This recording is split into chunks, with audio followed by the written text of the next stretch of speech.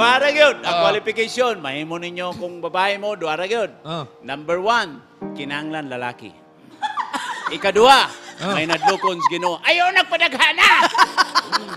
Kaya mo, kaya bini mo, What? kung may nadlukon na sa Ginoo, mabuhi gid ka. Eh, Carlin, Kung may Carlin. nadlukon na sa Ginoo, palanggaon gid ka.